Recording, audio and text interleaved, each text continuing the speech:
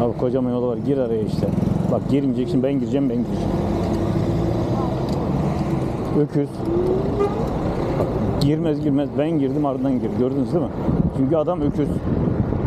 Niye bekledim madem girecektin? Trafiği tehlikeye atıyorsun.